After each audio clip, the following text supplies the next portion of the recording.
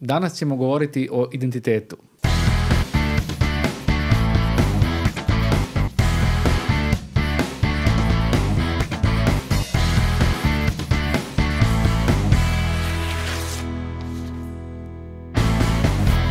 Ko smo mi? Pitanje kojim se bavimo verovatno celog života, pitanje kojima se celo čovečanstvo bavi celog života. To je nešto o čemu ćemo danas pričati a vidjet ćete na koji način to utiče i na našu oblast psihijatriju i na to kako mi radimo svoj posao. E, sa mnom u studiju je naš dragi Milutin Kostić, svima vama ovaj, e, poznat e, od ranije, a eto, nadam se i novim, da ćemo i sada novim našim slušalcima i gledalcima koji su tu od druge sezone da damo priliku da te upoznaju. Pa Milutine, hvala što si ovde. Meni je baš drago što ćemo danas o ovome da pričamo i dobrodošao u studiju. Hvala. e, dobro, ovaj, eto, pre nego što počnemo, samo eto da uh, podsjetim naše, naše i gledalce i slušalce da smo mi prisutni na svim društvenim mrežama, da nas zaprate ako nisu, da uh, ostavljaju komentare u videu ako im nešto pada na pamet i za one koji nas posebno vole da mogu da nas podrže preko Patreona i preko YouTube Premium Membershipa. E, tako da kad smo došli sa ovom najavom, možemo sada da krenemo i sa temom. Uh, Pa, ovaj, pošto smo već samo dali kratak jedan intro da ćemo pričati o identitetu, da te pitam prvo šta je za tebe to identitet? Šta u stvari to znači? Mnogo se priča o tome, a da pitanje da li svi mislimo na istu stvar kad pričamo o identitetu. Da, ja sam uh, onako u posljednje vreme dosta baš čitao o tome, jer, kao što rekao, postoje različite definicije, različite teze, uh, jer to je u stvari jedan socijalan, vrlo, vrlo, da kažem, uh, problematičan pojam u mnogo čemu je nije opipljiv. Ne postoji nešto što će mi sad, ovo je identitet, ali ono što meni se nekako najviše sviđa i što mi deluje da nekako najbolje opisuje ili najpribližnije, to ono moj osjećaj ko sam ja, kako ja sebe doživljavam i kao pojedinac i kao deo grupe. Dakle, da li sam ja, ja sam, ne znam, Srbin koji je psihijatar, koji je, eto, lep i šarmant. Mm, Eto, to je okay. moj identitet. da. Dobro, pa uh, kažeš problematičan u smislu problematično se definiše i objašnjava, ali mislim, čini mi se prilično nužan za naše uopšte postojanje i, i bivanje u svetu nekako. Ne, šta bismo bili bez identiteta? Da, ne znam nužno, sve prisutno. Sviđam što da ovo kažeš, svi o tome neko pričamo i podrazumevamo da mislimo isto, a vrlo moguće da u određenoj meri postoje razlike. Drugo, ono što mi je bilo interesantno dok sam o tome čitao, on je prilično novi izraz. Koliko god da je nama to sad kao pa svi imaju identitet, svi imaju, to je važno, to je u stvari termin koji počinje u posljednjih 100 godina, mm -hmm. da, da postaje, da kažemo, dominantan ili da se pojavljuje, a tek posljednjih, da kažemo, 30 godina stvarno onako izlazi kao nešto što je suštinski. Iako su mnogi od akcija koje smo viđali u prošlosti u stvari definišu, možemo da definišemo kroz identitet, on nije tako verbalizovan, nismo A. prosto imali reč za to ili nismo koristili na taj način, ali nije bilo toliko važno da to definišemo na taj način. Pa da, ali mislim, iako ga nismo definisali, moguće da, ovaj, mislim, bavili smo se njime u smislu, bar meni deluje da nekako u nekim književnim delima i mnogo starijim od poslednjih 100 godina zapravo jeste ključno neko pitanje to ko, ko sam ja u stvari. Tako I mislim da to, sam, to ne mogu sad da se setim odakle, ali to je sigurno iz nekog filma ili serije uh, ima neka scena u nekoj srednjoj školi, u učionici i baš ne, nešto predaje književnost i kaže, kad neko pita tu neku, mislim da je profesorka, kao čemu se radi u toj knjizi, ona kaže pa u, u, u istom o čemu se radi u svim knjigama na svetu, a to je ko sam ja. Da. Znaš, i da to opet neka potraga za tim nekim našim osjećanjem sobstva je meni, ja mislim, jedan od najuniverzalnijih ljudskih Tako, karakteristika. Ne, ne, apsolutno. Ne. Kažem, posto kroz literaturu na način na koji se definiš, kažemo, mm. identitet kao tako, posto, nije, a nije bilo moj identitet je, ne znam, hrišćan. Oni bili, ne, ja verujem u Boga. I nisam razmišljao o tome kao možda kao o svom identitetu, već o onome o čem, u šta ja verujem. Mm -hmm. I naravno da je to polačilo, koja je moja grupa, ko još veruje istog Boga, ko su moji ljudi, ko, protiv koga se mi borimo i tako dalje. Ali prosto način razmišljanja kao identitetski u, u uskom smislu ono što mi danas vidimo, čini se dosta kroz medije, istraživanje i tako dalje, jeste relativno novo. Pa da. A, a, a što ti kažeš, uvek prisutno u suštini u, u biću i ne može, ja, ja lično ne mogu da zamislim čoveka, ni preistorijskog, koji nema tu isku, ono, mm. a ko sam ja? Mm. Pa da, i kako si objasnio, opisao malo pre ovu definiciju koju se sviđa, nekako, neka moja ideja ko sam ja kao individua i ko sam ja kao pripadnik neke grupe. Pa ako samo na par trenutaka to da razložimo, šta to znači zapravo ko, kao ko sam ja je unutra, a šta znači ko sam ja kao član grupe, šta nam donosi u stvari to osjećanje pripadnosti nekoj grupi? Pa, mi smo socijalna bića i mislim, mi imamo danas jedan uh, jak, jaku kulturološku jednu sedinu u kojoj nekako guramo tu priču o individualnosti, o tome kako smo svi posebni, mm. jedinstveni, ovakvi i onakvi. I čini mi se da to počinje da dominira. Ja čujem i od mojih pacijenata kao, pa eto, ja moram da budem dobro sam sa sobom da bih mogao da budem i sa drugim. Mm. Tako što ja lično onako malo se naježim kad to čujem, jer mislim da niko normalno ne treba da bude dobro sam sa sobom. Svima mm. smo nam, su nam potrebni drugi ljudi i to je toliko u našem šoj srži da budemo uh, socijalna bića. I onda ja iskreno opet ne znam da li je to nekako a, akademsko razdvajanje ja kao ja i ja kao deo grupe i, i da li to može tako se razdvaja ili to uvek ide u stvari jedno sa drugim. A, jer između ostalog taj identitet mi smo preživljavali kroz celu istoriju kao deo neke grupe, deo neke pripadnosti nečemu, mi stalno smo u potrazi kome to mi pripadamo, ko smo, čak i da je mala izolovana grupa, to je naša grupa, važno je da je naša, ili smo deo većine, mm. ili bilo kako. I, I taj osjećaj koji dolazi iz tog te pripadnosti jeste identitetci. Pa evo, mi Srbi, mi smo ovakvi, mi, mi, ja onako kad mm. vidim sad, ja to sam pominjao baš i u, uh, u, u knjizi koju sam pisao, ja kada čitam, ne znam, o nekom britanskom heroju, fascinantno je, kao ili, ne znam, francuskom ili kineskom, nebitno, fascinantno je, lepo, lepa istorija i tako dalje. Ali kad čitamo principu, o Tesli, o Knezu Milošu ili Nemanjićima, neka dodatna iska, jako je njih ne znam, jako je to sve, opet je, o, oni su moji. Šta to znači, ja nemam pojma, to je nekako, ali to mi je usađeno i to, je, ta, to osjećanje, taj, to, to dodatna, ta iskra koja se javi kad čitamo njima u odnosu na neke uh, druge, to je taj deo identiteta, toga, to je moja, moja grupa, vidi šta su moji mm. ljudi radili. I, I onda nas to nas čuva, jer onda ja znam, eto, ako je frka, ja tražim moje. E sad, kažem, ja pominjem Srbe jer je kad nacionalni identitet, nažalost, ili na sveću na ovim mm. prostorima vrlo izražen, pa je neko lako razumeti, ali to ne mora, to može da bude bilo Eto, šta. To sam baš što ja pitam, da, to mogu biti bilo kakve vrste bilo kakve. grupe, a Tako. posebno mislim sada u, kako, u kom društvu živimo i koliko nas, smo svi povezani na globalnom nivou putem interneta, društvenih mreža, raznih uh, zajednica i subzajednica na internetu, mi možemo biti deo milion različitih grupa i kako onda, koje onda grupe su deo našeg identiteta? Pa, ali to je, to je mnogo, mislim, to, to je između ostalog kad me potaklo i na čitanje o tome i razmišljanje, jeste što mi se čini, opet kažem, nisam bio tada tamo pre 300 godina na planeti, ali deluje da je nekako taj opseg ponuđenih uloga, identiteta, da tako kažemo, nekako bio uži ranije i da se, da je Uh, bilo, eto, tim treba, taj, taj nekako pritisak zajednice, mm -hmm. konzervativni koncept u kojem ti ne treba sad, ne možeš ti da budeš bilo šta, ti imaš svoju ulogu koja ti je određena. Da je dosta onako linearno usmeravala čoveka, isti je taj identitet imao i sa istim žarom bi se borio za svoju grupu, ali je ta grupa bila definisana u tom jednom relativno uskom krugu, dok danas, hoćete da kažeš, mi svi smo naučeni, možemo budemo bilo šta. I vrlo je onako čudan razvoj šta ćemo to što ti kažeš mi odabrati ili šta ćemo osetiti kao svoje, pa će se onda to i menjati kroz život. Biću kao klinac metalac, pa ću posle da budem psihijatar, pa ne znam nešto mm. treće. Znači, mnoge stvari u nama se menjaju i mnogo što je lepo i opet ima taj deo gde kažu, eto, onda možda nađeš autentičnog sebe, što je isto, po mom mm. mišljenju, problematičan koncept ali s druge strane sloboda je vrlo komplikovana stvar. Mm. Nekad je lak, lakše kad nemamo slobodu. Koliko god to možda zvučalo kao pa kako... Pa da, pa to je uvek kad priča o tome, ono što meni sada pada na pamet je ta te je to stalno neka vrsta nekog trade-offa gde zapravo ti imaš, porediš starija društva gde je bilo jasno usmeren put i gde je bilo lakše pripadati, ali je vjerojatno bilo teže na neki način osjetiti se svojim i da nekako imamo slobodu da budemo šta hoćemo, jer ako si tad bio pripadnik neke grupe, ti si morao da se ponašaš kao pripadnik neke grupe.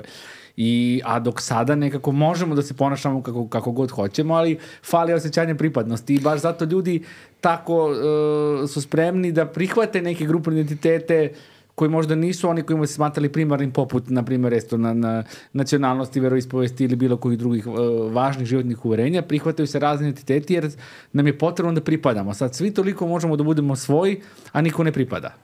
Da, i uh, labavije, znači ovo što kažeš, ja mogu da budem neko vreme, pa mi dosadi pa ću nešto drugo da budem ili da se više ne osjećam kao deo te grupe. Drugo, uh, u jednoj određenoj meri ta jedna vrsta i uloga koja ulazi u identitet je mnogo, mnogo važna. I sad ako je moj identitet metalca, to je okej, okay, ali da li je to suštinski bitno, da, da li moja grupa je ugrožena, da li preživljava? Ako mi imamo ulogu, na primjer, eto, nacionalnu u ratu, to mhm. onda takvu vrstu zajedništva ili osjećaja nekako e, mi protiv njih razvija, da to onda ima jednu mnogo, čini mi se, veću dubinu i, i da mnogo jače nas gura. I onda da su danas identiteti zbog toga kao daju veću slobodu, ali možda su i plići i čini mm. mi se ovo što kaže da mnogi lutaju i da, da, da je jako teško zaista pronaći se u društvu u kojem nas on stave idi radi, 9 do 5, Uh, onda, mislim, si preumoran za bilo šta drugo, a taj rad te možda ne inspiriše i ne, ne daje ti osjećaj pripadnosti ili, evo, ja, ja imam sreću, što ja osjećam kao psihijatar, meni se sviđa ideja da sam mm. psihijatar, to jeste deo mog identiteta, mog narativa, to je sad drugi mm. koncept da je to identitet, u stvari narativ mog života, kako bih ja opisao svoj život i tako dalje. Uh, uh, I to je moja sreća, ali mnogi ljudi nemaju tu sreću, ne osjeća se kao šta god da radi od 9 do 5 i onda se stvari, pa ko sam onda ja, šta ja radim, čemu ovo služi? A društvo koje s jedne strane strašno forsira priču identiteta, a s druge strane u tom nekom konceptu, zato što su razbijene to te, da kažem, strukture koje su jasno određivali ti si to i ne mnogo da pametuješ, stvaraju jednu, jednu izgubljenost, čini mi se, mm. kod velikog broja ljudi. Pa izgubljenost je velika, mada, ne, kažem, dok pričamo, razmišljam kako mi se, mislim, ne, svi, ne sviđa mi se baš ni to, ti si to i nemoj da pametuješ. Mislim da je to sigurno ovaj, nosilo određenu vrstu problema i mislim da je i opasno da romantizujemo sada nešto što nismo ni, do, mislim, ni doživeli, niti zna, znamo kako je, ali možemo da prihvatimo da je imalo neki, neki koristan aspekt. I tako je, i kao što ovo ima svoje korisne, ono ima i, i drugo nije to... Uh, nije to nužno na cijeloj grupi. Znači, možda je to meni i tebi više pije više sloboda, ali ja moja ti kažem da zavisno, i tu mislim da je najvažniji taj temperament i karakter, mm. da je nekom drugome to super, ono, je, kaži mi šta da radim, da ne razmišljam. Ja zaista mislim da određen boj ljudi što je potpuno okej okay da je to lakše ili ne samo ili možda u nekim određenim aspektima meni je možda lakše negde da mi neko kaže e, uradi to i ne razmišlja o nekim drugima hoću ja da pametujem i da imam svoj stav i svoje nekako osjećanje i tako dalje Tako da, apsolutno, ne, uh, ovo su teme u kojima mislim da ne postoji tačan odgovor. Ne postoji kao, e, mm. trebamo tako, sad ćemo mi da vam objasnimo kako treba sintetom. Mi samo konstatujemo šta postoji i što kažeš, onda će neko na osnovu svojih nekako uh, stvari da, da zaključi. Tu se onda ne ide samo u to, ide se u, u koncept šire, lične slobode. Ako ćeš da zatvoriš lične slobode u ovom segmentu, u kojim još segmentima, nezavisno od identiteta, ćeš mm. da ih zatvaraš ili nećeš, da li to povlači te stvari. Znači, To su mnogo, mnogo šira pitanja. Samo pitanje identiteta je e, u stvari čini samo posledica nekih drugih širih e, tendencija koje imamo u društvu. Pa da, i eto mislim, ono što, što je meni sad interesantno i što je jedan od mojih asocijacija dok te slušam, kako pričaš o tim primerima šta se može biti identitet i nekako, mislim, delimo to, to osjećanje uh, sreće i, i ispunjenosti zbog životnog poziva, nekako jer se ja nekako se, što kaže, osjećam se kao psihijatar i nekako to i shvatam kao deo svog identiteta i jeste neki što kao deo mo moje životne priče i drago mi je zbog toga i, i volim to, ali eto, na primjer, ja se po, razlikujem pomalo od tebe od tome što ja, sad da li to nažalost ili na sreću ne znam, ali ja nemam tu neku vrstu nacionalnog ponosa bilo kakve vrste. U smislu što kažeš, meni je draže neki naši heroji nego neki njihovi. Ja imam neku nijansu lokal patriotizma na nivou svog rada kao, on mi je draži od drugih. Ali na nivou sad nekako nacije i naroda prosto nemam. Iako na nekom, uh, razumem tvoje argumente, što kažeš u slovima nekog rata, to, to je sve korisno, lepo, ali ja to nemam kao svoj osjećaj. Da li, da li je uvek korisno i lepo? Pa, I to je ne, pitanje. Jeste, ali znaš, ne, ne, nemam, tu, nemam to intuitivno kao da mi je nešto što je našo ovog drago. Ne, ja moram ti kažem da ja to uopšte, uh, to čisto emotivno i to je sad opet stvar ko zna čega, ili odgoja, ili nekih, možda i temperamenta ili bilo šta. Ja znam, Ja, na primer, e, narodnjaki ne slušam i, imam, i ideološki imam velike probleme sa određenim ovaj, elementima toga, ali, na primer, svaki put kada sam u inostranstvu, duže, evo sad kad sam bio u Americi, ja čuno sam 31. dana sam pustio cecu, znam za jedan gad, zove se Beograd, tako da i suza krene da. odmah, tako da, e, dobro. a, i, i potpuno iracionalno, u životu nisam van Srbije pustio tu pesmu, ali tu me potakne. I što ti kažeš, ja na, kognitivno ja ne pravim razliku među ljudima, uh, u, u svakodnevnom radu ništa nemam, mogu da ja shvatam neki Srbi ne valjaju, neki valjaju, ali ta osjećanje, kao, e, A, naš, da, da, razumem. Teško, ja... i na, mada meni to često, na primjer, prelazi u šire. Mi, naši, ja vrlo lako mogu da gledam i gledam često i na malo širem podneblju i ex-Jugoslaviji i tako dalje, gde isto imam određenu senzibilitet ka tome. Tako da, ali ništa to, ništa to nema racionalno i mislim da s identitetom skoro nikad ni nema racionalno. Pa nema, da, nego meni su interesantne te razlike i što kažeš, i mislim, nacionalni identitet mi je zanimljivije da pričamo o njemu zato što on jeste nešto što kod nas vrlo je gajeno i izraženo i mislim da zato i gledalci mogu da, da se s tim lako povežu, znaš. Bilo je ono kao, mislim, znaš, kad sam, kad sam bio mali, kao gleda se neki futbal, neke dve strane ekipe i sad za neku ekipu igra neki naš igrač najbitan i kao navija se sad za nju. I meni je to neko nerviralo me uvek, kao što sad ja moram da navijam zbog samo jednog lika tamo. Mi smo, da. mi smo imali situaciju, bili smo, pošto sam bio u Bostonu, i bili smo na utakmici Boston-Miami. I onda uh, srednjem sinu se svidela Amerika, mislim svidao mu se Boston, živo tamo, napravio prijateljima, da je on tako, njemu se svuda svidi, uh, prosto je otvoren, dok starijem mnogo manje i on jedva čekao se vrati i čak ima onako mali otpor. Uh, I onda smo gledali utakmicu, srednji sin je navio za naš Boston, mi smo sad bostonjani mm. i on navija za naš Boston, dok je stariji sin navio za Miami, jer tu igra Jović. Da, da. To je, e, to je to. I, i, to, I dalje on, to je ipak naš. Da, da, pa dobro, da, mislim, ja ti kažem, to je nešto gde sam se ja uvek, uh, to je često sam se os, ranije osjećao kao neka vrsta nekog, uh, ne znam, čudaka ili nekog ono izuzetka, bar zato što mi je to uvek falilo. Uh, A posle sam, eto, naučio kroz tu neku ljubav prema gradu, kao shvatio da ja to time, time nadomešćujem. A eto, i ovaj, um, sad mi je neko dobar trenutak da, kad uh, sa ovog nacionalnog identiteta prelazimo na jednu drugu sferu identiteta, to je ono što će biti ovaj tema uh, glavna ovog našeg razgovora, to je da, rekli smo, identitet može biti svašta.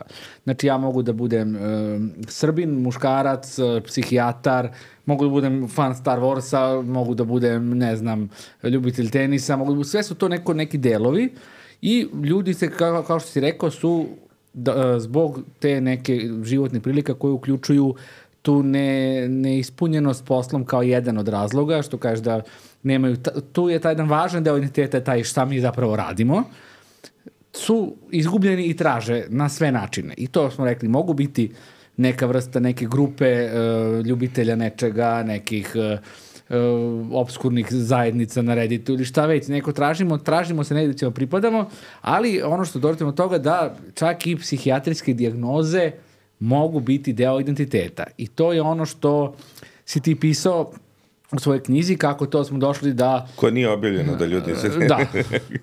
Ali kada bude, javit ćemo. Da. A, a, znači, to je, si pisao da, da, da zapravo smo došli do toga da i poremeća i postaju identitet. Pa eto, mislim, možda s malo uvedeš u tu priču, kako da si pa, bio inspirisan, postao inspirisan za ovu temu i kako smo došli do toga da i dijagnoza bude identitet. Pa ne, ja mislim da nismo došli do toga. Znači, identitet je ko sam ja. I mislim da je to uvek bio deo priče, jer prosto to nas obeleža ko, ko se, znači ako ja, na primjer, izgubim nogu, ja ću znati da ja, na primjer, ako uđem u sobu, svi će me prepoznati kao nekoga ko nema nogu. I drugi će da nam isto, to isto stvar, drugi nam da identitet. Ako me svi gledaju kao neko ko je mnogo lep, ja ću se osjećati kao neko lep i suprotno i tako dalje. I onda, to je prvo, dakle, stvar nečega kako nas drugi vide.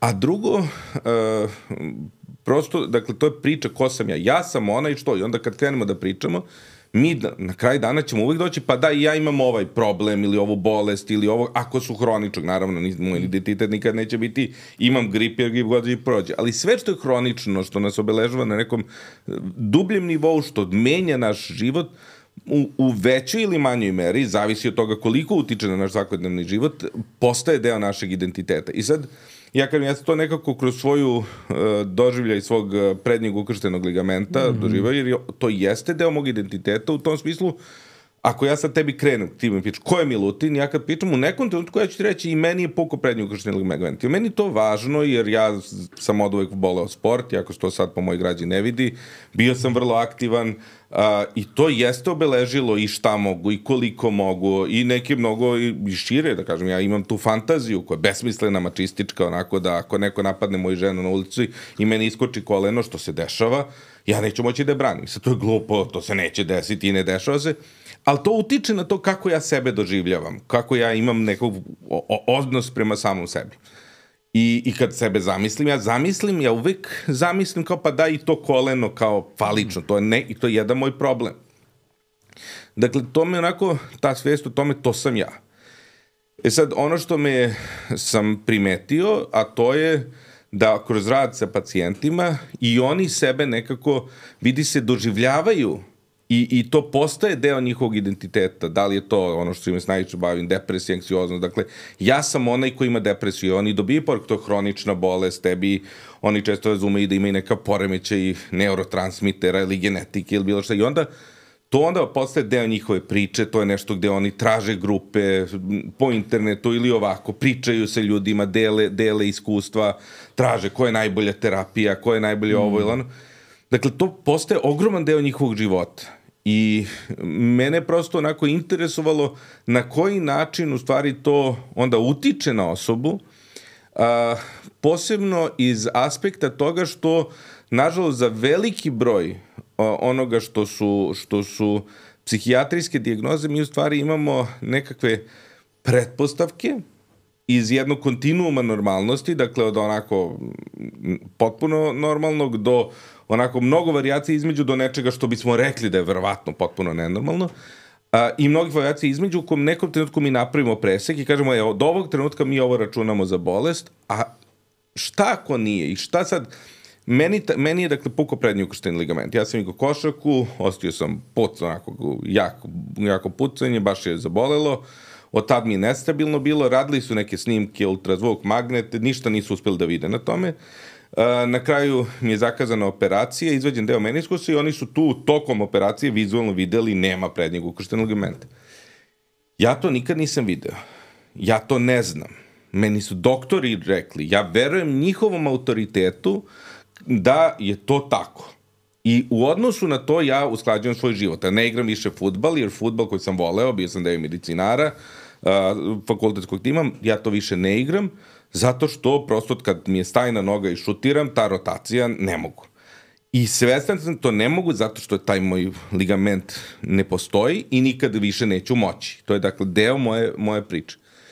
A, šta se događa kada opet iz jedne pozicije autoriteta sa belim mantilom, belom bradom, a, kao neko mnogo pametan, ja kažem pacijentu ti imaš depresiju, anksioznost, ADHD ili bilo šta drugo I dođem i pacijent to čuje i on ve, mi veruje, on nije vidio, on ne zna šta se dešava u njegovom mozgu, on ne zna uh, subtilne detalje psihijatrijske diagnostike i da li šta to znači, šta ne znači, oni imaju svoje implicitne teorije, tako zove ono što ve, u, uverenje šta to znači. I počinju sebe da doživljavaju na jedan način, kao osoba koja ima poremećen mozak, koja ima bolest zbog koje ima eto, te, u tom trenutku te simptome ili takav fokus ili bilo šta treće mene to strašno plaši. Jer je težina, jer uh, ono što je posebno, ja sam Srbin i ja kapiram ovo što da je to potpuno mm, iracionalno, da je to deo jednog mog emocionalnog odgajanja, doživljaja koje suštinski ja na kognitivnom nivou razumem da je beznačajno, ali na emocionalnom je posao deo mene. I to ja to prihvatam tako dokle god ne ugrožavam druge, dokle god shvatam i mogu da balansiram, mislim da je okej. Okay. Mm. Uh, ali ja opet kažem, to mogu, shvatam kao nešto što nije deo mene, kao biološki deo mene, nego nešto što je moje odgajanje donelo. I kao tako mislim da može eventualno i da se menja i sigurno da kroz vreme možda bude izraženije, manje izraženo mm. i da ja to prepoznajem kao tako. Diagnostička ili identitet patologije bolesti je zasnovan na uverenju nepromenjivosti ili del, makar delimiče nepromenjivosti osobe. Ja sam onaj koji ima taj poremećaj i onda ona je samo delimično uh, emotivna. Ona jeste zasnovana i na objektivnim okolnostima ili percepciji objektivnih okolnosti zato što je osoba autoriteta nam je rekla to si ti, ti si taj ta osoba. A kad nam neko kaže ti si ti, taj ta osoba, mi često verujemo i počinjemo da ulazimo u, u tu ulogu. Uh, zato me plaši što mi sa dosta sigurnosti u praksi ili kroz medije ili kroz društvene mreže dobijamo i šaljemo poruke to je to, to je ta bolest, to je taj dijagnoza, taj poremećaj, a šta ako nije? Mi smo usmerili život jedne osobe u nekom pravcu koji je možda bude vrlo nepredvidiv, koji mislim da dugoročno uh, nije dobar, mogu posle da objasniti i zašto, a, a zastovano na uverenju da je jedno činjenično stanje predstavljeno kad nije.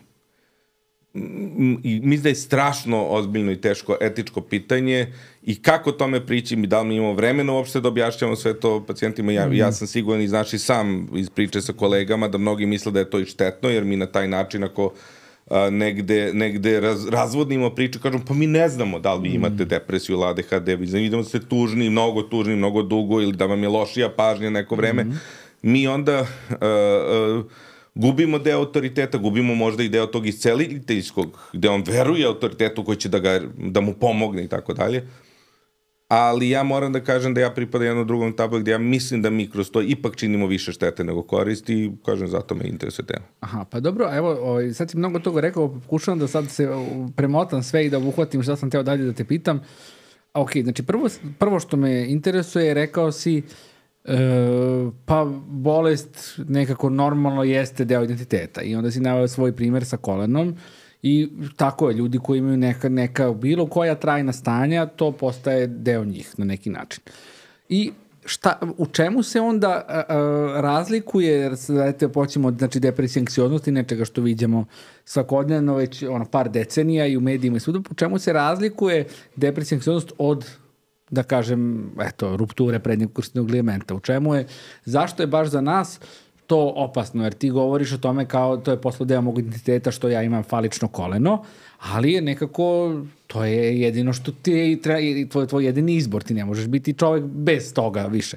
E sad, znači, ono što je impliciraš ovim tvojim, uh, tvojim odgovorom, a volio bi sad da ga napravimo eksplicitnim, je šta to, šta je tu loše, to jest da li postoji alternativa za to da čovek kaže ja sam, ja sam taj koji ima depresiju ili anksioznost, kada već čovek dođe kod nas i ima tu vrstu simptoma? Uh, pa evo to upravo pitanje, da li postoji alternativa? Ja mislim da postoji alternativa, ali uh, je ona uh, objektivno jako teško primenjiva na nekom širem nivou i, mi, i objektivno bi dovela do, do određenih, da kažem, a, problema, pa na kraju dana, evo, i identitetskih problema kod mnogih psihijatara, kada bismo ušli u tu jednu vrstu, a, nazovimo razvodnjavanja ili, ili dekonstruisanja određenih konkretnih pojmova u ono što oni zapravo predstavljaju. A, dakle, apsolutno je okej okay kada znamo da imamo neki poremećaj, neku bolest, ne, neku falinku, da znamo to. Jer to uh, prvo je činjenja, ako je objektivna činjenica, objektivna je činjenica, ne moramo mnogo tu da raspravljamo. Drugo, to može biti i korisno. Korisno u jednoj limitaciji uh, toga šta ćemo, ajmo da bismo se čuvali. Evo, ja, ja sam pomenuo, ja više ne igram mm -hmm. futbal.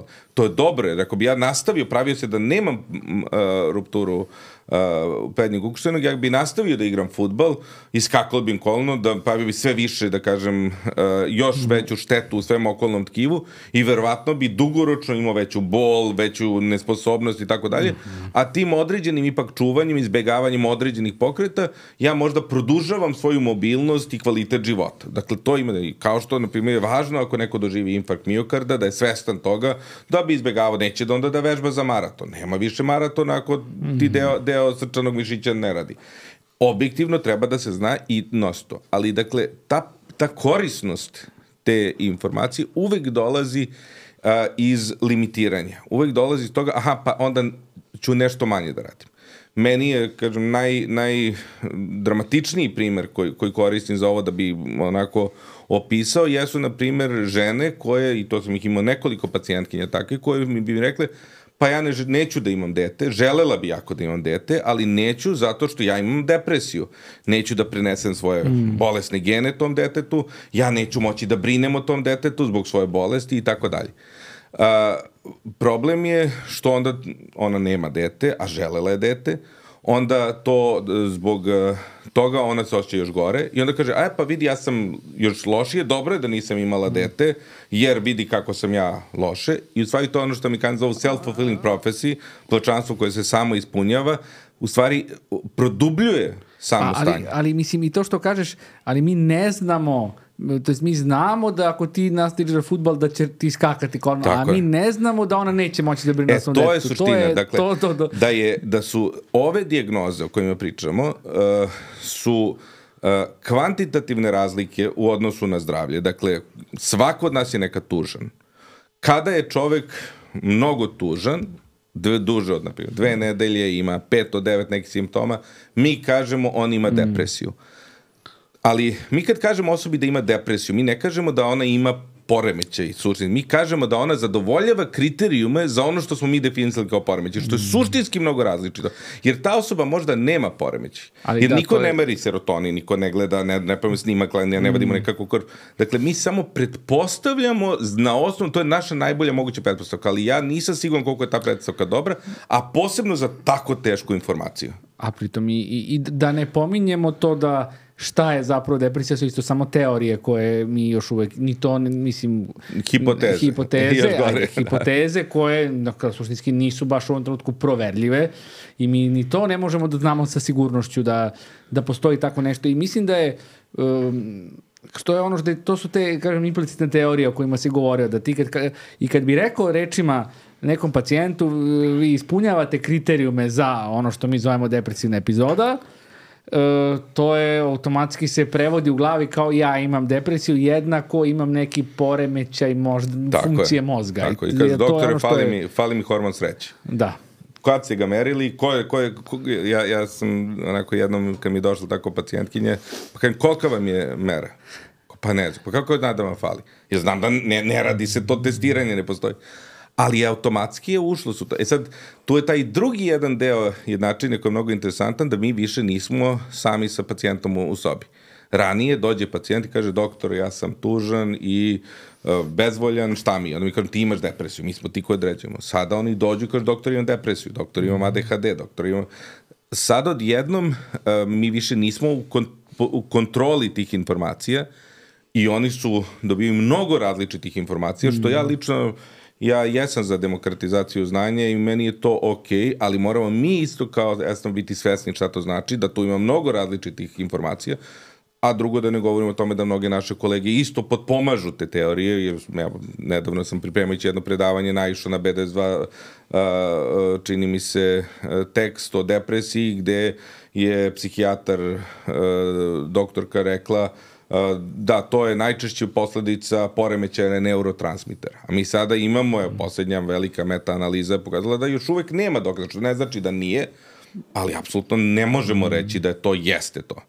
Pa da, mi, mislim da to je ono, nekako nemamo apsolutno znanja, to se, to se teško to se teško priznaje. I sad razmišljajući o tome koja je alternativa, ja, ne, ja nekako dosta verujem u, u moć jezika i u to kao načina na koji se nekom nešto treba saopštiti. Uh, jedna ovaj, lepa stvar, mnogo koju sam na gestaltu naučio, koja, uh, koji se generalno zalaže dosta za neku depatologizaciju nekih da kažem, normalnih ljudskih iskustava, makar bila neprijatna, je tamo što se ne kaže depresivna epizoda, nego se kaže depresivno iskustvo. I samim tim to iskustvo, to je nešto što to nije deo nas, ako, kako iskustvo, no. razumeš, to je nešto što mi, kroz šta mi prolazimo i mislim da je, da jeste upotreba jezika nešto što može da nam pomogne u toj, u toj borbi da uh, da se to nekako shvati na način koji nije toliko, da kažemo, ono što kažete, samo osuđujući, kao da sad sam sebi dobio sam presudu, ja sam depresivan i to je sad nešto bez čega ne mogu. Posebno, eto, uh, meni je možda za, za, za anksioznost kao neku vrstu simptoma ili kao, kao ključnog simptoma nečega što zovemo anksiozni poremećaj,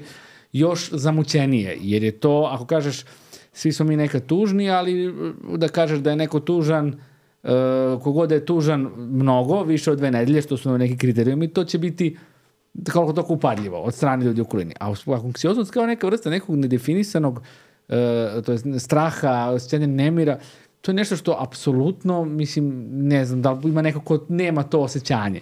I sad kako tek tu da postavimo granicu šta je, šta je poremeća i uh, mislim da si baš ovaj, da si u knjizi napomenuo kako su ljudi koji su bilo kakav simptom anksioznosti doživljavali kao, kao simptom anksioznog poremećaja, nešto imali neke lošije rezultate. Ne mogu se setim sad šta je tačno bilo, ali nekima, neki, neki tumač anksioznost kao pojavu simptoma, neki tuže kao, tumače kao simptom uh, anksioznog poremećaja i kako tu odmah nekako uh, mnogo više pesimizma, mislim da je bilo mnogo više nekog samoograničavanja u nekim aktivnostima, baš zato što kao je to je anksiozni poremećaj sad.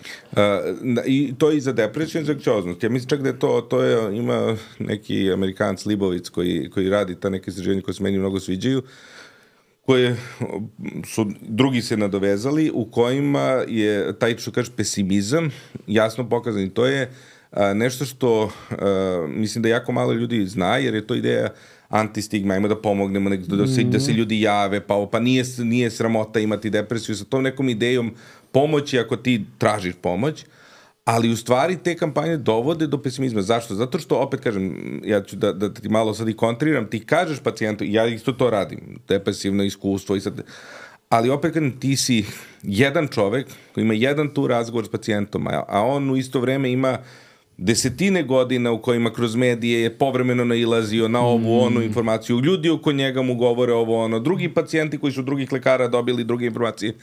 I onda tu nastaje jedan mišmaš i ono što ti podrazumevaš da si mu rekao ili joj, a, oni ne moraju da to, oni su čuli neku svoju verziju koja je malo više ovamo, malo više onamo mm. i tako dalje. A, a ovo, da, dakle, dolazi do toga zbog ono što se zove genetski ili biološki determinizam, do, do pesimizma. Šta to mm. znači? A, ja nemam devojku i loš posao i malo para i šef se dere na mene i tako dalje i onda ja sam nesećan. Ili sam anksiozan, kako šta dalje. Ali ako ja nađem devojku, ako nađem bolji posao s boljom platom gde će da me tretiraju sa dostojanstvom, ja ću biti bolji. I to je ono, ono što zove agency. Imam, im, ja imam nešto što znači, mogu da radim. Uh, ali ako ja dobijem dijagnozu kod određenog broja ljudi, opet kažem, ovo nije sve za svakog, ali određen broj ljudi će to da koncipira, aha, dakle, i da nađem devojku, i da nađem e, bolji posao, sve, ću i dalje biti nesćan jer ja imam ta, taj poremećaj. I mm. to onda, pa šta god da uradio, u stvari ja ću uvek biti bolestan i to se onda dobi to, i to je taj pesimizam, a onda on takođe vodi u pasivizaciju i to je uh, uh, ovaj Ormel uh, uh, lack of agency kao koncepciju u kojem uh, ranije su ljudi koji su tužni, nesrećni, možda depresivni, pokušavali sebi da pomognu. Pa kao ajde možda da probam ovo, pa možda da promenim posao, pa možda ne znam neki hobi, pa da meditiram, šta god. Fizička aktivnost. A sada se gubi to, jer ja sam u stvari bolestan i sada ja prelazim samo u to da čekam da mi doktor da lek koji će mene da izleči ili neće da me izleči, da mi nađe pravu terapiju. Ja ulazim u jednu pasivnost koje naravno do, do, do, može da dovede do toga da se još gore osjećam zato što je možda ta tuga u stvari nije bila depresija nego informacija o nezadovoljstvu životom koji sad postaje još gori. I onda, i to je taj ormerici, i to je jedan od razloga koji je dao kao potencijalno zašto mi imamo ono što u depresiji, kad smo već kod nje, treatment prevalence paradoks, odnosno paradoks između toga da mi sve više lečimo, a opšta populacija stanje je sve gore. Mm, što ne bi trebalo da je tako. a sve više depresija. Kad da. smo otkrili antibiotike, sve više antibiotika davali, sve manje smrti od bakterijskih infekcija, koje su ranije toliko sele smrt, sada su praktično jedna banalna, mm. uh, banalno stanje, zato što imamo tu krive koje, koje idu u suprotnim pravcima. Mm. A ovde ide uporedo. Sve više lečimo, sve je gore. I mislim da kao, kao ESTAF mora da postavimo pitanje o čemu se radi i ja se tu slažem sa Ormelom da je to lack of agency, samo bih dodao da mislim da taj lack of agency između oslog dolazi iz uh, tog identitetskog, što čovjek počinje o sebi da misli na jedan način i da to leži u osnovi svega toga. Mm. I to je još jedno to samo ispunjujuće proročanstvo u stvari kada Tako je. dobijem diagnozu depresijan ja onda postajem pasivan, postajem povučen iz života, postajem što sve pod, i pogoršava se tome depresiji, smanjuje šanse da će mi, Tako da će mi biti bolje. Ali dobro, eto, to je ono što si, što ključno što si rekao, da, da, da, da mi kao estaf moramo da se zapitamo, jer očigledno je da nešto, da nešto nije u redu. I mislim, više nego očigledno. Ja mislim isto. I o, ono što, što je meni, meni važno, na primjer, ja kad sam držao grupe, na primjer, psihoedukativne grupe u dnevnoj bolnici, isto ovo, kad pričamo, e, nije poruka, e, nemoj, ne znam, ni da tražiš pomoć, nemoj ni ovo, nemoj ni ono. Znači, suština jeste prvo imaj određenu ogradu prema dijagnozi kao koncepciji, jer na kraju dana i da imaš depresiju i da nemaš, to ne znači da ti ne patiš, to ne znači da ti ne treba pomoć, jer između ostalog a, ta negativna ili da kažemo neprijatna pre, znači sva osjećanja su korisna, ali neprijatno osjećanje jesu poziv u pomoć i okej okay je onda da mi tražimo pomoć i okej okay je sve to, ali da ima ogradu prema tome šta ta dijagnoza znači, da ona nije usud, da ona nije biološka determinisanje našeg oblika mm. ili funkcionisanja mozga, nego evidentiranje jednog emocionalnog stanja trenutno pred nama i da se onda to, ok, tražiš pomoć, ali ne zaboravi na sebi. Kao što osoba sa diabetesom ne znači da ne treba da uzima uh, lekove za diabetes ili da traži pomoć od endokrinologa, ali takođe treba da pazi šta jede, treba da brine o tim stvarima. Ako mm. može na ta, samo na taj način da regulišeš što neki sa diabetes tip 2 mogu, mm. to je savršeno. A ako ne, ajde da bude i jedno i drugo, ali naravno ne možeš da, da očekuješ ako se uzima insulin i jedu beskonačne torte i dalje će sanje samo da se pogoršava. Mm, pa da. Pa dobro, ovo, je, ovo, ovo mi se metafora za, za, za diabetičare baš sviđa, ovaj, jer mislim da jeste, da dobro ilustruje to, da te stvari ne isključuju jedno drugo, nekako traženje pomoći i neka vrsta neke zadržavanja neke naše moći, sposobnosti i, mm. i nezavisnosti u toj borbi da nam bude bolje, to ni uopšte ne isključivo i može je. da koegzistira. Tako je.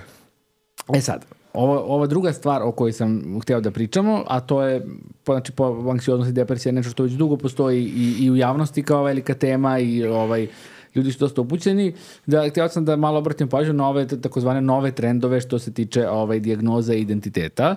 I ono što vidimo poslednjih godina širom interneta, počinje da se javlja i kod nas, je e, neke nove psihijatrijske dijagnoze koje postaju popularne, što, kao ti, što ti kažeš kao neki krajnji rezultat antistigme, dolazi do neke vrste romantizacije i glorifikacije određenih stanja i neki da se sada javljaju ljudi sa željom da dobiju neku dijagnozu koju su koju oni sami zaključuju da imaju iz nekih izvora i to ima smisla u njihovoj životnoj priči. I pre, kada govorimo o ovome, znači mislimo pre svega dve dijagnoze, autizam i ADHD, odnosno nešto što mi zovemo poremeći pažnje u nekom kolokvijalnom ovaj, e, govoru. Pa je to... Kod odraslih. Kod odraslih, da. Velika okay. razlika deca. Deca nemaju potrebu za tim diagnozama, ali kod odraslih se dešava I to me jeste onako, možda i glavna nekako, ovo sam se posle nadovezao na, na depresiju anksioznost, jer sam se time najviše u praksi bavio, ali jeste me potaklo ta nekako suočavanje sa tim u praksi na, na razmišljanju konceptu identiteta, jer sam se suočio sa nečim prvi put posle 15 godina u karijeri, a to je da ranije, na primjer, dođe pacijent i kaže tužan sam, bezvoljan, ovo ono, i onda mi pričamo i kažem pa dobro, život je težak, možda i nemate depresiju, ajmo da ispratimo, možda je sve okej, okay, uh, ja mislim da je ovo samo tuga, jer stvarno je teška okolnost i njima bude kao, e, pa super, nisam bolestan i jedna vrsta olakšanja i onda nastavimo da radimo. Nekada to, to ide na gore, pa onda moramo i da, da, da produbimo, nekada stvarno u, u, u solino boje slučaja bude zaista bolje vrlo brzo. Uh, ali se, uh, se, sam se onda suočio kada su mi došli ljudi, pacijenti koji kažu doktor ja imam ADHD i onda mi malo pričamo, kažem pa meni ne deluje da imate ADHD, gde se onda odjedno suočavam sa ljutnjom. Kako to? Kako to? Znači, nema olakšanja, niko, e, super, nisam poremećen. Ne, potpuno suprotno, kao da im nešto oduzimam. I upravo zato sam insistirao na ovome da nismo više sami u sobi, to nisu pacijenti, dakle, oni nisu došli doktore, teško mi je da, da čitam knjigu, da počitam celu knjigu, da pratim, ne znam, film. Ne, oni dođu, doktor, ja imam ADHD, oni su već pročitali, već se obučili, već su znaju šta to predstavlja, već su sebe definisali, počeli da se doživljavaju kroz taj način i samo su došli po potvrdu. Oni su došli da ja potvrdim da imaju na papiru da to nije samo, da kažem, njihova obrazilja, ti si to. A, ok, ali kako smo došli do toga da neko nešto što u svojoj e, imenu ima reč poremeći bude željena kategorija?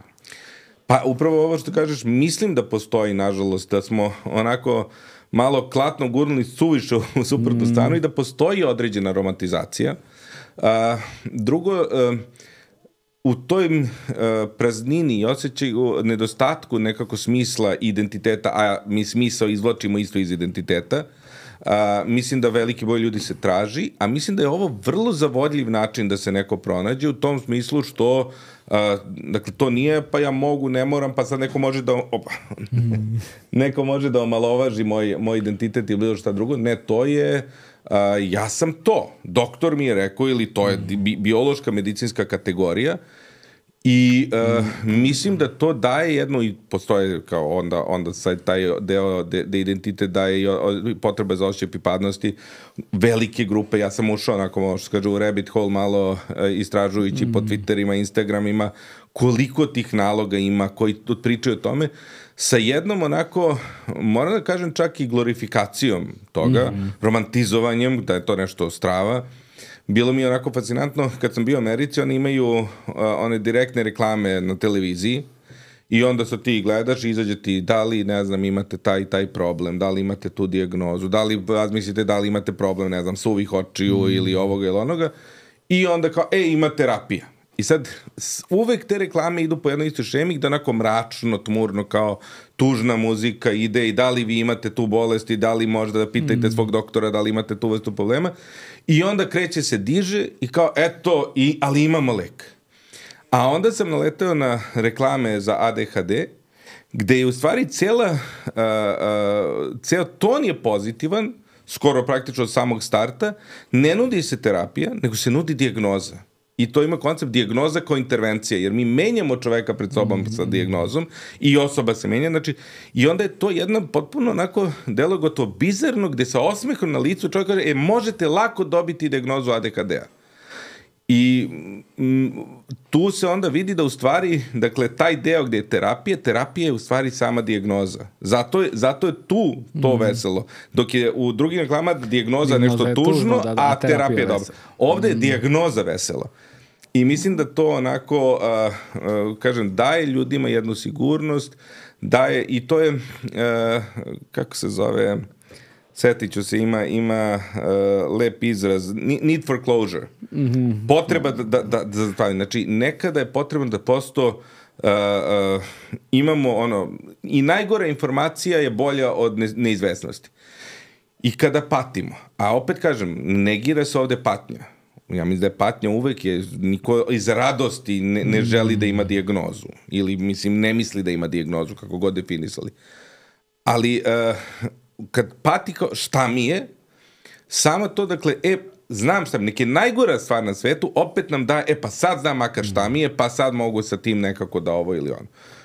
Uh, I plus budemo deo jedne sad opet zajednice koja na tako jedan lep i romantičan način onako pokazuje da to u stvari dosta i super cool ili kako god hoćemo nazovem. Pa da, ja ovaj, de, to, de, to, to je pripadnosti i to, i to neko u stvari način ponašanja tih grupa po internetu sa tim nekim apsolutnim potpunim prihvatanjem je nekako vrlo zavodljiv i vrlo moćan kad neko nas jedan put toliko prihvata sve naše posebnosti i neobičnosti to onda sigur, mislim osjećaj je, je jako moćan ja sad razmišljam evo možemo malo sad da se pozabavimo time zašto baš ovi sada poremeći autizam i ADHD su ti koji su glavni uh, mislim za ADHD već vidimo za autizam ovaj ne viđam toliko još u praksi, ljudi koji dolaze kažu ja sam autističan i, i slično, ali viđam dosta u, u medijima i dosta na viđam zapadu. na internetu, zapadu, gde je nekako prva moja reakcija na to je bila da me to malo ljuti, jer nekako kad kružeći na specializaciji, svi smo na dečjem odeljenju, vidimo uh,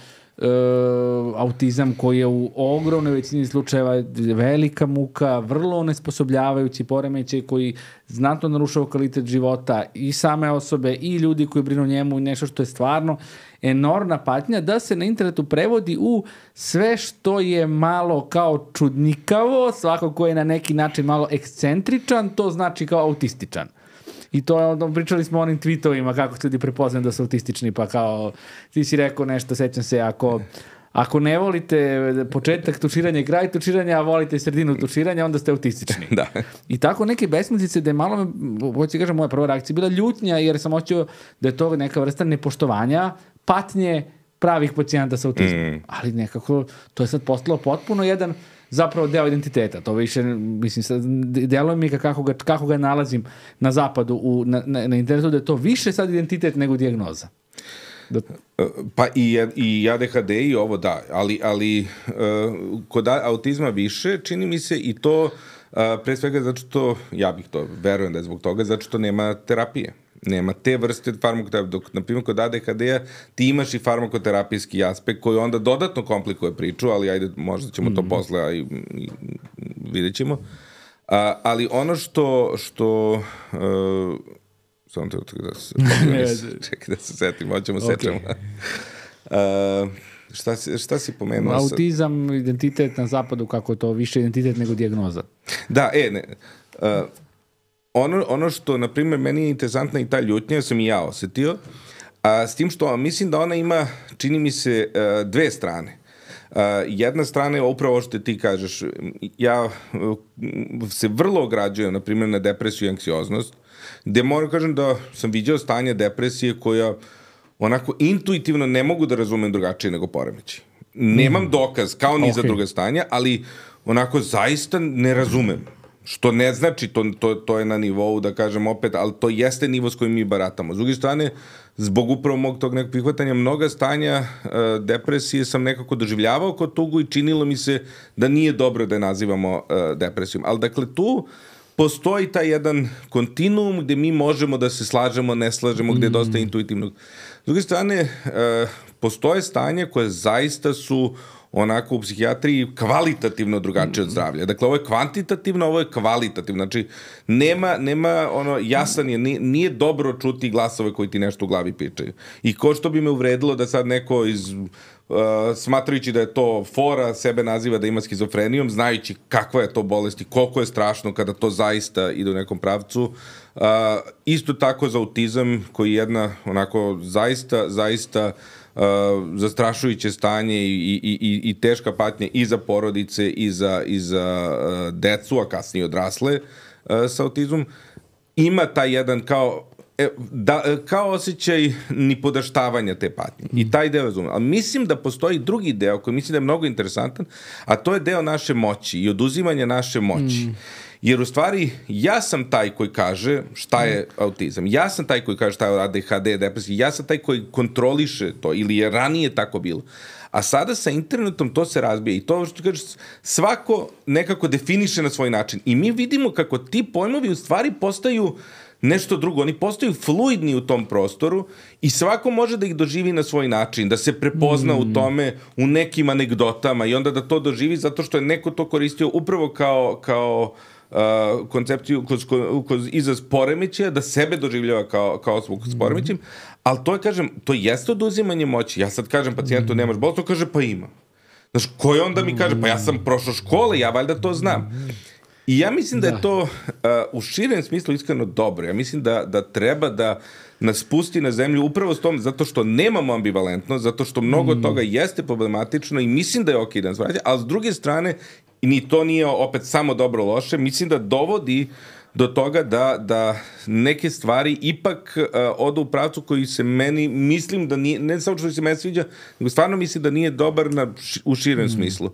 I uh, za razliku od depresije i anksioznosti, gde mi se čini da je nekako kroz postojanje tih uh, uh, diagnostičkih kategorija koje, uh, novi, novih terapija pre svega krajem 80-ih sa prozakom, fluoksetinom, mm. gde onda krenulo da se to onako promoviše kao eto imamo lek sad koji manje je štetan da ga prodajemo, da se promoviše uh, dijagnoza, što kažem mislim da na kraju u mnogo čemu otišlo u jednu krajnost koja se meni ne sviđa, ali je došla iz esnafa, došla iz naše profesije ka mm -hmm populaciji. Ovde imamo suprotan, u stvari sama koncepcija, ja sam ne da li si i ti, ti si malo mlađi od mene, ali ja sam učio da je ADHD bolest koja valjda magično prestaje s 18 godina, da to bolest dece i da onda, što nema nikakve logike, ali smo to kao, eto, mnoge stvari koje mi radimo nema logiku, a posto prihvatamo tako. Mm.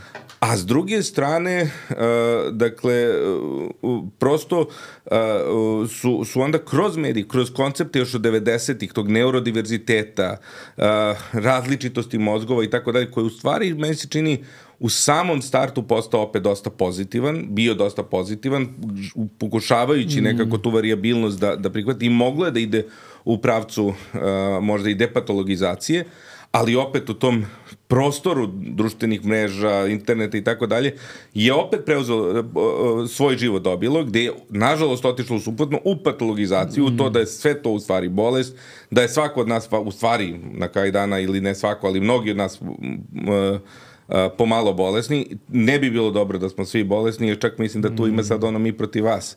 Jer ako ja kao neurodiverzitetan ili ADHD ili autizam sam poseban, malo i romantičan, a oni neurotipični su, su dosta, obični dosadni. dosadni. Ako da, nema da. tih neurotipičnih, onda sam ja isti ko svi. A ovo mi daje tu jednu posebnost koja Jeste. nije apsolutna, jer imam svoju grupu, ali naša grupa je ipak malo bolja od tvoje grupe. Pa jeste, ali to je, mislim, na, nažalost tako. Ja se sećam, što kaže, to, to već ima svoj život i to je van naše kontrole. I na našem forumu gostova je, kako se zove, beše ovaj francuski profesor Falisar, da. Bruno, koji je koga je neko pitao nešto koji se time bavi dao na državne predavanje vezano za identitet u postmodernizmu i baš je bilo interesantno.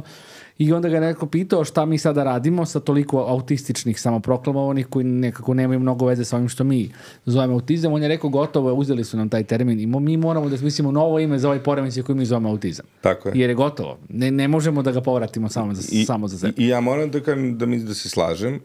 Prosto ne može da bude uh, isto i da, da verovatno neće doći u isto, u, u isti proces, ali je opet uh, tu autizam A, mislim da postoje ozbiljne moralne distinkcije i, i, i praktične distinkcije između autizma i ADHD-a i probleme koje predstavlja. Mm. Zato što autizam, s tim, s tim možemo to da uradimo, da ljudi koji se doživljavaju kao autistični zadrže tu jednu, zato što opet... Nema i nema to, terapija. Zbog, ne, zbog toga nema terapija, nema u poremećaju nazivu, znači to, on je autist, on ima autističan. A u samom nazivu ADHD jeste poslednji da je disorder. Znači, to je poremećaj, ima terapija koja može da se uzima, da se to leči i mislim da to dovodi do problema gde nisam siguran, na primjer, kako ćemo sa ADHD-om. Jer nisam siguran da možemo samo da prepustimo i nešto okay. drugo, jer... Da, da. Ne, i mislio sam za, za autizam specifično, jer, kažem ti, to mi je delovalo kao, kao, kao neka šifra, za to ja sam malo tako, čudnjikavo, ekscentričan, ali na jedan šarmantan i poseban način. Što je okej, okay. i, i mnogi od njih stvarno i jesu. Jeste, jeste. Ali, I to, ali, znaš, to je, ja sam, ima jedna knjiga koju ja mnogo volim, koju je pisala jedna gestaltitskinja, Elinor Greenberg, i pomenio sam je nekoliko puta ovde, koja se bavi time onom što mi zovemo poremeće ličnosti, a što ona zove adaptacije ličnosti, isto u cilju da se... Ovaj, ja isto ne da podnosim poremeće ličnosti, e, ali se nisam toga doticao. Da, da se ovaj, depatologizuje i ona pominje tri ključna Uh, tri ključne adaptacije u poslednjih 50 ili više godina, gde navodi borderline adaptaciju koja je dominantna bila 60-ih i 70-ih zbog uh, labavih granica, kontrakulture, seksualne revolucije i svega toga. Dok, sad ja ovo mislim prilično pojednostavljam, to je zvuči sve mnogo pametnije kada ona kaže, ali on, e, onda ide narcistička adaptacija koja je bila ono 80-ih, 90-ih kad su bili API, kad je bilo prosto takva ono vrhunac mm. američkog kapitalizma i slično.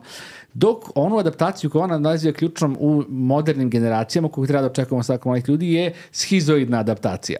Kao, kao dominantna, baš zato to se provodi mnogo vremena iza ekrana, zato što je kombina, komunikacija na nekoj vrsti distance, i zato što se te, ti mladi ljudi sada doživljavaju tu distancu kao neku vrstu bezbednosti i ono što je direktno njima biva intruzivno mnogo i teško. Imamo sve više ljudi na psihoterapiji koji se, na primjer, prilikom online seansi lakše otvaraju nego uživo. Jer je to nivo, nivo distance koji je njima bezbedan. Da, da, nisam to e, znao. I nekako u, u, u kontekstu te schizoidne adaptacije, da nazovemo, sa nekom vrstom distance, na to se dobro kači ovo što mi zovemo autističan kad gledamo neke ono, filmske prikaze autističnog ili, na primjer, ovog Sheldona iz Big Bang Theory i slično. Na, na, da. na nekako u tom, u tom jednom... Uh, uh, okruženju odrastanja iza ekrana i sa distance, neka vrsta te čudnosti i ekscentričnosti lako dolazi u prvi plan i postaje pozitivna više nego što je to bila ranije. Da, a, mislim sad ćemo malo skrenuti, ali, ali evo me interesuje šta ti misliš.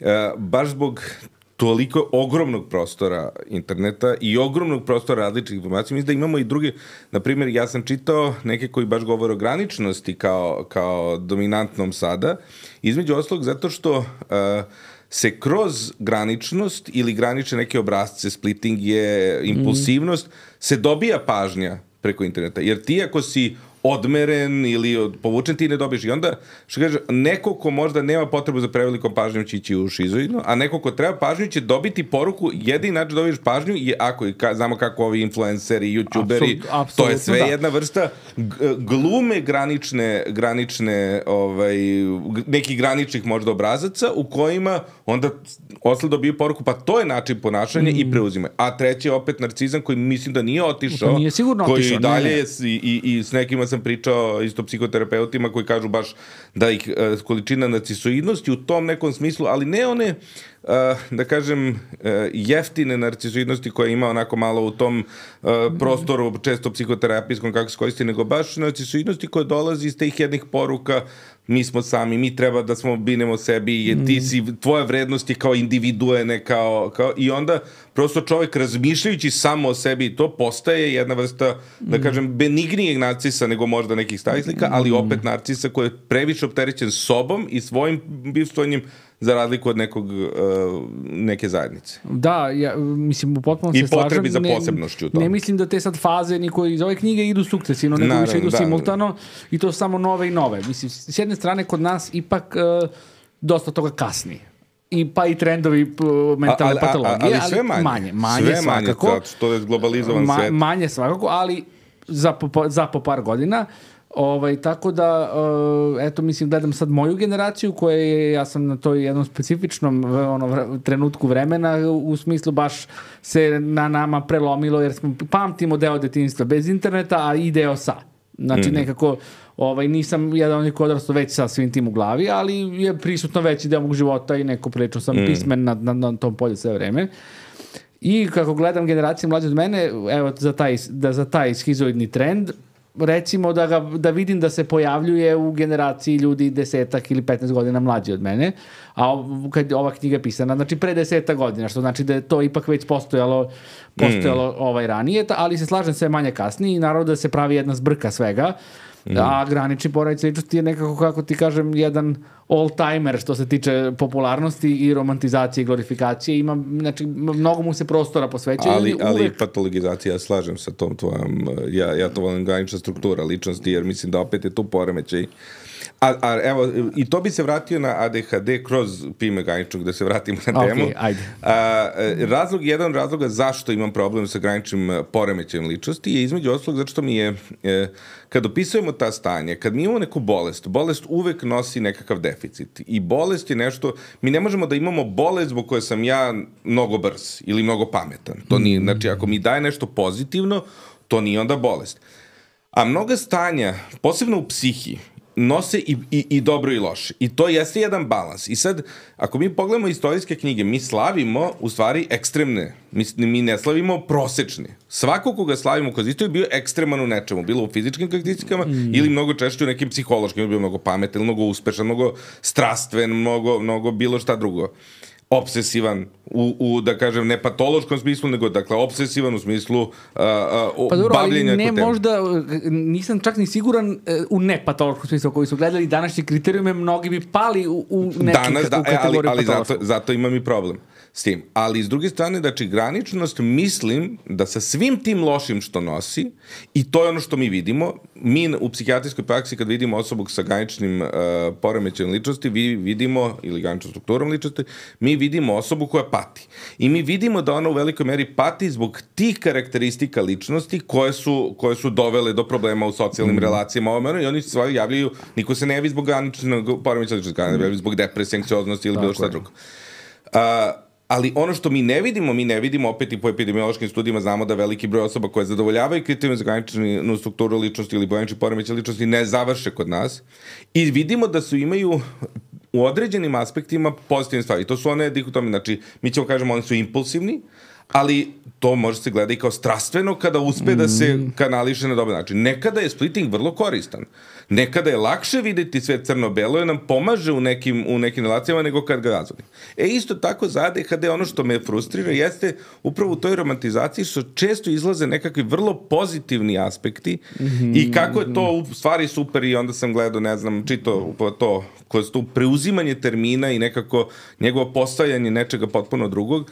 E, neka žena koja kaže, eto ja imam dete koje ima ADHD, i ja imam ADHD i ono i kako ja vidim, eto on to i taj problem, taj problem, ali ono je kreativniji od drugih, ono ne znam, ima mm. ove i sve neke fantastične stvari. Sad ako me pitaš da li bih ja želeo svom detetu da oduzmem kreativnost kao jedna od možda i najvažnijih karakteristika ljudskosti i to da sam u tome posebno dobar za uzvat da ne znam malo bolje pratim da filmove ili nešto. neurotipični da, dosadnik koji plaća račune i, i radi, radi kancelarijski posao. Dakle, pa da. mi onda dolazimo u, jedno, u jedan problem kako nešto što donosi i pozitivno nazivamo mm. poremećaj a, a ne neke kao vrsta varijacije ljudskosti sa svojim trade-offsima koji uvek postoje.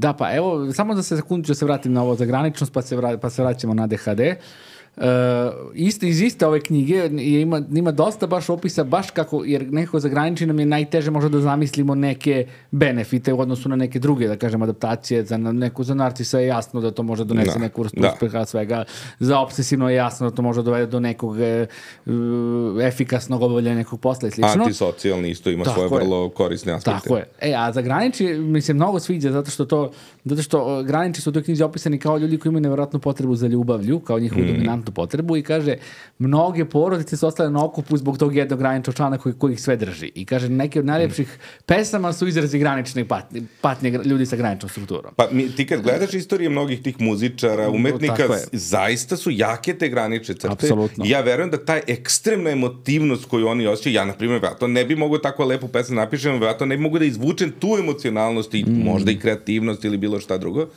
Uh, tako da, da, to je, i, i svidjela mi se jednom jedna koleginica, kad smo baš pričali, koja je rekla, niko ne voli tako kao granična osoba. I to je, ta, ta intenzitet u tom splittingu, mm. i to je zavodljivo. Znači, neko te vo, obožava, ti, on, i, I zato mislim da to, e, i onda šta se dešava, mi onda zavolimo i tu osobu, mm. ali mi ne volimo nju uprkos tome. Dakle, kad je neko bolestan, neko može da ima, ne znam, ovo rekli nema nogu, ili ima infarkt miokarda, ili neku drugu bolest, ili skizofreniju, priča sam sa sobom, mi možemo da zavolimo tu osobu uprkos tome, jer vidimo ličnosti za toga, mm. kvalitete, ovo, ono, koji su nevezani za samu bolest. Dakle, ali mi ne volimo osobu zbog toga. Mislim, bilo bi čudno da zavolimo osobu zbog bolesti, nego uprkos. A, a ono što su glavne karakteristike granične strukture ličnosti, često mogu da izazovu da zavolimo zbog, zbog toga. E, onda mi je to jako problem da kažem, mm. e pa bo, jedina bolest na svetu zbog koje neko može da vas zavoli. To je onako... da.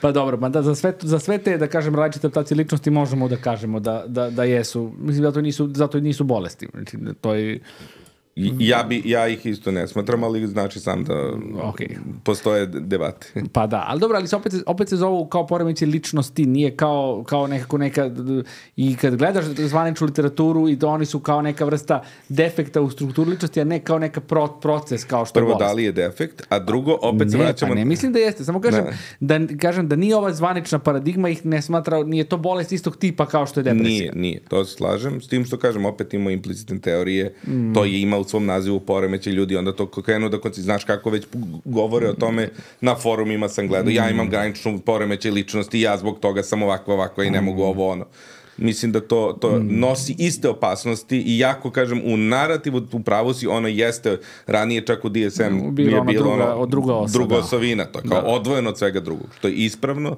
ali sam poremeć je ono što me muči. To, pa lepo da. si rekao, veruješ u snagu jezika i ja verujem i što kažem, mislim da često se trudim u, u, u svom, svojoj praksi da koristim i da pazim šta kažem i kako, ali smo mi da, da u moru informacija gde su mm. mi samo kap u, u svemu mm. tome.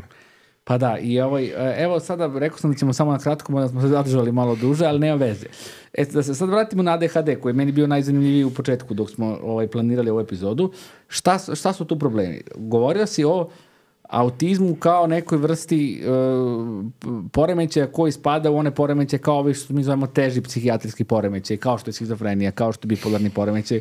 Usti da postoji neka vrsta kvalitativne razlike od onoga što je normalno, mm. a da nije samo kvantitativno.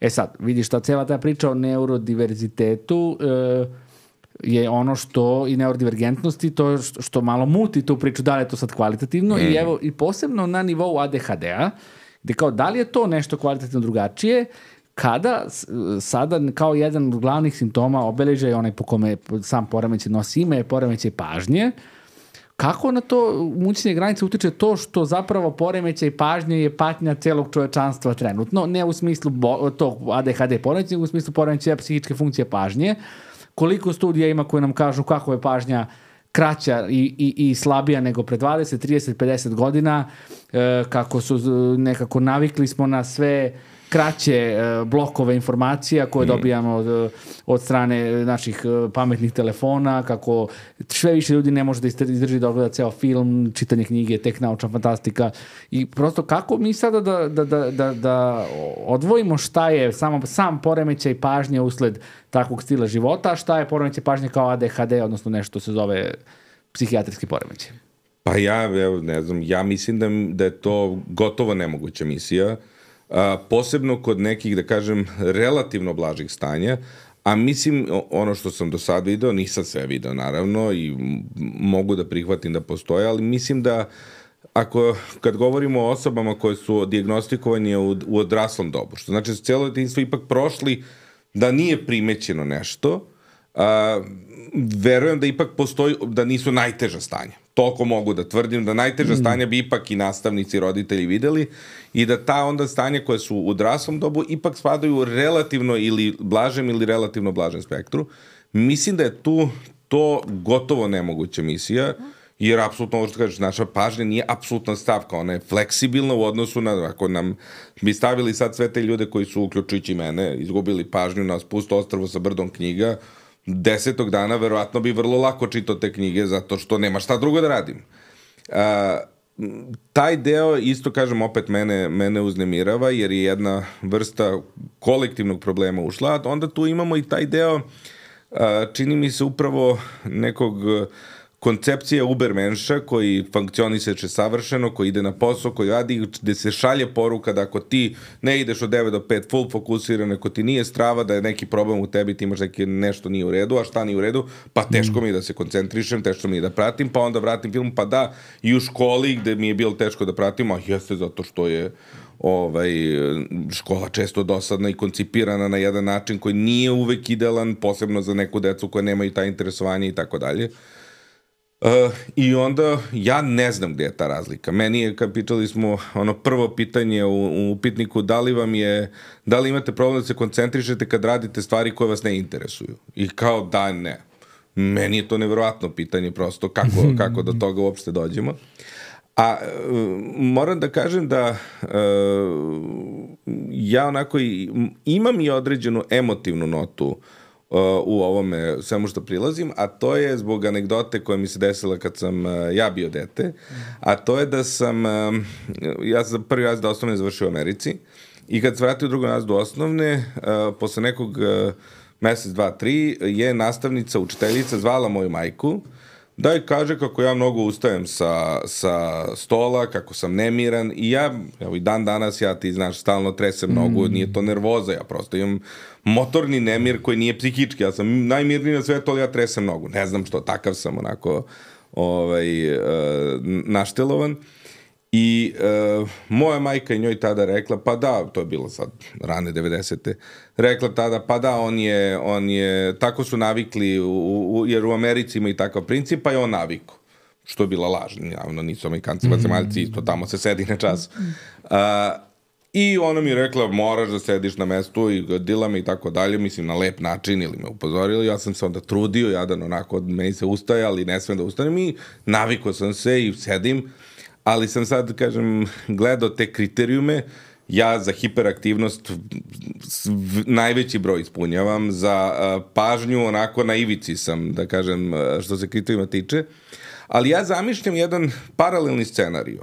Uh, I tu se vraćamo upravo na to šta dijagnoza znači za čovjeka. Pa na jedan paralelni scenarij u kojem mi moja majka rekla, jo, pa šta može, što toliko ustaje, odvela me kod psihijatra, možda neki psihijatar, znamo da imaju ogromne razlike, opet, mislim da u Srbiji mm. opet ne bi, ali da sam bio u Americi, možda bi taj psihijatar, pošto u Americi, na primjer, 7% ima dece, to je stara bojka, ne znam kako je sad, 7% dece ima dijagnozu ADHD-a, u Francuskoj 0,7. Znači, opet vidimo koliko je to jedna vrlo neuhvatljiva stvar i, i verovatno subjektivna procena. I da mi neki psihijatar, pa da, on ima ADHD, pa da možemo staviti na terapiju i ne moraju, ali sve se menja. Onda ja dobijem dvojku na kontrolni iz matematike, meni majka ne kaže, eto vidiš, nisi učio, zašto nije dobro ili to, nego me ovaj, uh, bi rekla, pa dobro, super, dvojka nije kec, imaš ADHD, super je, sva očekivanja se spuštaju, ja mm. poče, drugi me gledaju, nastavnica me onda gleda drugačijim očima, drugačije me tretira od druge dece, druga deca me... Sve se moj put menja. Možda bi to bio super put, ja ne znam. Ali me plaši. I plaši me zato upravo to kada nekome kažemo nešto za šta nismo sigurni o nečem. Tako, ima jedna studija koja je onako vrlo interesantna, koja je, na primjer, pokazala da uh, deca koja su dobila diagnozu ADHD-a u poređenju s decom koja nisu dobila da, diagnozu ADHD-a, a uh, mečovani za simptome, znači nisu ovi bili teži i lakši nego prosto, znači ne, ne terapija, nego diagnoza, da su oni koji su koji nisu dobili diagnozu su imali bolju prognozu. Jer upravo ja verujem da to ima veze upravo s tim onim što su pričali kod depresije, agency i tako dalje. I mislim da se to dešava i, u, u, i, i kod adultnog ADHD-a, jer onda ja kažem, pa da, evo, ne znam, za posao nešto, pa ja ne mogu taj posao da tražim zato što ja imam ADHD, ja neću moći to da ispratim. Ja mm. počnem da doživljavam sebe na jedan način. Možda, eto, da li ja mogu da imam partnerku kad ja neću moći s njom, ili mm. partnerku koja možda mora onda da me razume ili koja će, ne znam, ne možemo da idemo u bioskop zato što ja ne mogu da gledam, jer počinjem da verujem da ne mogu. Mm. I tu se dešava opet self-fulfilling prophecy. Pa dobro, ali, ali ne samo i to. Imaš jedan deo koji je meni možda i problematičniji, a još je, mislim, verovatno kontroverznija za njemu priča, to što to postaje savršeni alibi za nepreuzimanje odgovornosti. Ja mislim, ja se neko dosta bavim te, temom lične odgovornosti u, u, svom, u svom radu i nekako mi zvuči kao, kao, kao savršeni izgovor kao to ja sada, što kažeš, ako su zahtevi sredine takvi da, da budemo svi ubermenš, a to je znači da radimo savršeno, da budemo perfektno motivisani, da budemo srećni zbog toga što radimo, da mm. plaćamo sve račune na vreme, da ne zaboravimo da platimo porez, da ne zaboravimo da registrujemo auto, da ne zaboravimo ovo, mislim, evo da ja budemo pričam, neurotipični. neurotipični, dosadni, pa evo, mislim, ja mogu govoriti, meni se sto puta za, za da, da zaboravim sve takve stvari, znaš. Mm. I ve, mislim da zato što se to dešava maltene svima, osim nekim ekstremno, verovatno, dobro organizovanim ljudima koji imaju neke obsesivne crte, pa onda mogu I koji da, onda pate zbog toga, zato što ne mogu da, jest, ne mogu da puste ne nekad. Ne mogu da uživaju, jeste. I, I onda, ako su zahtevi takvi, i ako ja ne mogu da ispunim te zahteve, I po, posebno ako sam još u nekoj lošoj poziciji, radim neki posao koji mi se ne sviđa i tako dalje, ili nešto nisam uspeo, i onda ovo postaje savršena libi, jer s jedne strane ima tu jednu romantičnu konotaciju, imam ADHD, znači ja sam nekako neshvaćen i slobodni kreativac u svetu bankara, na, na primer, a druga stvar je što ja onda neću ni da se trudim, jer što bih se trudio, ja ne moram da se trudim. A truditi se nije lako, to ću kažem. Znači nije lako da sad, što kažeš, e, ja ne mogu taj posao, a taj posao je možda zahtevan i možda bih i mogu, ali bi se malo pomučio dok, dok ne dođem do tog nivoa da mogu. Ali ovako imam izgovor da se ne mučim. Isto tako, što imati, imati stabilnu vezu nije lako. Zahteva mm. da se da neke promene u ponašanju. Ne može baš isti kao, kao kad si single. Ako postoje neki zahtevi. E, ovako je neko prodanje da ja ne moram da ispunjavam nikakve zahteve. E, ali ja se sto posto slažem s tobom. Ali ono što mene u tome muči i što bih volao nekako da naglasimo je, nisi siguran kako se to čuje. Ja mislim da je to apsolutno alibi, ali je, to nije, ali, e, ljudi kad čuju alibi mislim da ima jednu negativnu konotaciju koja je to, eto, nekog što je razmažen ili što je mm. na ovo ili ono. A ja lično mislim da to jeste alibi, ali je alibi koji dolazi, potreba za alibijem dolazi iz patnje. Apsolutno, Jer da. se te osobe osjećaju neadekvatno. Jer se te osjećaju, osobe osjećaju neispunjeno. Ja sam imao jedan slučaj, slučaj pacijenta koji kaže, eto ja vidim onaj Instagram, svi su srećni, samo ja nisam. I sad, To naravno nije tačno, a i ja mislim da i ovi sa, ko, koji sebe definišu kroz ADHD ili prepoznaju u toj dijagnozi, mislim da oni isto pate, dobiju to pa vidi, svi funkcionišu, svi bolje funkcionišu od mene, svi su, svima je to lako ide, mm. ne shvatajući da svi mi stavljamo maske, jer evo, mi sad ovde pričamo i mnogo smo pametni, pa ćemo dođemo kući da, mislim, svoje anksioznosti vrtimo, da se svađamo sa, ne znam, partnerom, decom, da imamo razne svoje određene probleme, a evo, ja sad Mnogo da, smo da, pametni, sve, mnogo toga. I onda mislim da oni introjektuju to i onda kao pa zašto ja to ne mogu, zašto ne mogu i onda evo to je mm. i onda to bude alibi i olakšanje. Tako je. A ne, ja, ja i kad kažem alibi ne mislim uopšte na neku vrstu svesne manipulacije, Ma, znam, znam, nego znam, mislim samo... na prilično nesvesno jer uh, sve ono što nam donosi neku sekundarnu dobit, teže ćemo ga se odreći. A nekad, ni, a nekad ni nemamo pojma koja je to sekundarna dobit. I to je ono što je najteže. Če, mislim, često je najteže ljude o, o, odvojiti od nečega što donosi neku vrstu dobiti koja je vrlo, vrlo često nesvesna. Meni, meni je tu priča koju uvek koristim. Davno sam imao jednu pacijentkinju, uh, čak se više neće nikako izgledati, samo se sećam te, te, te, te, te rupe u koji smo upali, ona i ja, i jednog onako i igrokaza iz koga nije bilo izlaska, a to je, ona je postala depresivna zato što su uh, suprug i deca počeli da je potpuno ignorišu sve njene potrebe, da je tretiraju kao kućnu pomoćnicu koja nema pravo na svoje mm. želje, potrebe i tako dalje. E, I ona se očela užasno usamljeno, nesrećno i ona je zaista klonula, bila depresivna ili tužna, potpuno je nebitno, ali jako bila, bila loša. I onda smo mi krenuli da radimo, došla je, došla je i kod nas se leči, i porodica koja nije to uradila zato što je zla ili ovako ili onako, nego zato što prosto dešava se, svi uđemo u taj mm. manir, uzmemo, krećemo da uzimamo zbog svojih problema neke osobe, zdravo za gotovo i tako dalje, da, da bude manje fokusirani. I oni kao, ja, ona je bolesna, mi moramo da jej pomognemo i tako dalje. I onda se oni usmere svi na nju i krenu da je onako više paze, da je tretiraju bolje i tako dalje. I ja vidim, ona postaje bolje. I kada ja god bih rekao, pa evo, mnogo ste bolje, ta ono gotovo panika, ne nisam, ne doktor, vi ne vidi, ja, ja, vidiš aspektno, vidiš osobu koja je ranije ulazila, klonula, energiju unese, tuge sa sobom, onako oblak jedan, a, i sada ulazi potpuno uspravna, nasmejana i tako dalje.